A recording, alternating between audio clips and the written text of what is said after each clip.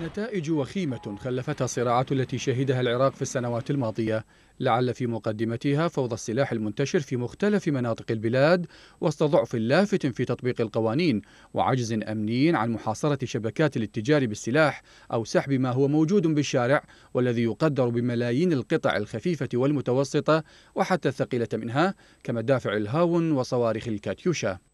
ظاهرة السلاح المنفلت تتصدر مدن جنوب ووسط العراق حيث تسببت خلال العام الماضي بمقتل وإصابة ما لا يقل عن ألف عراقي جراء جرائم جنائية أو اشتباكات عشائرية أو عداوات شخصية. وذلك بحسب وزارة الداخلية التي أكد مصدر رفيع فيها أن 60%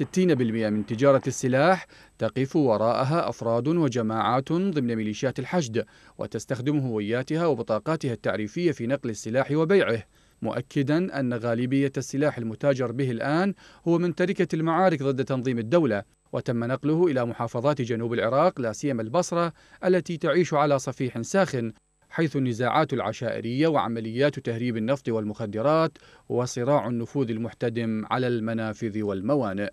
وبحسب المصدر فإن مجموع المبالغ التي يتم تداولها في هذه التجارة يصل إلى مليوني دولار شهريا ويتستر عليها أحزاب وضباط أمن كما يتورط فيها أطراف في كردستان العراق تتاجر بالسلاح بالتعاون مع شبكات من جنوب البلاد. وتبدو الحكومة عاجزة عن وضع حد لانفلات السلاح رغم تأكيدات مدير شرطة البصرة رشيد فليح أن العشائر تمتلك من السلاح ما يعادل تسليح فرقتين عسكريتين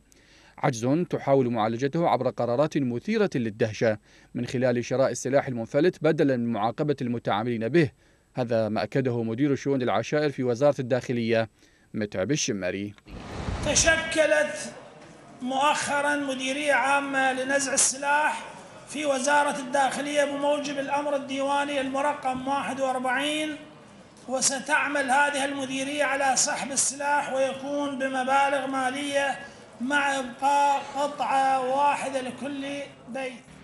سلاح منفلت يهدد أمن المواطن ويقوض بناء المجتمع ونزاعات متواصلة بعناوين مختلفة حيث تتقاطع المصالح ويتعسكر المجتمع تحت لافتات شتى ليتحول البلد إلى غابة كبيرة يأكل فيها القوي الضعيف ويقودها غياب الحلول إلى غياهب المجهول.